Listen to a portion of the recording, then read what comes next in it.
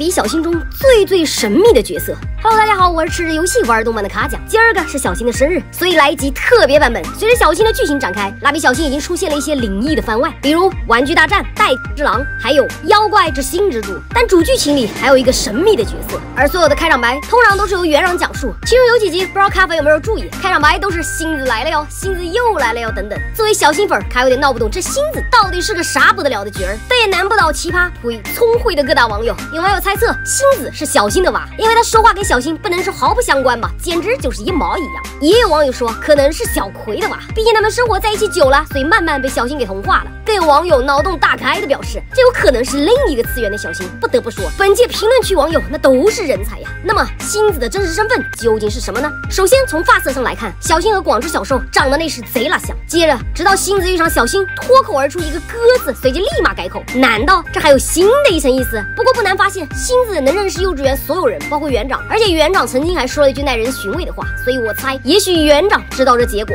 但无论如何，假如你看过蜡笔小新，你又觉得星子是什么身份呢？评论区来看看吧。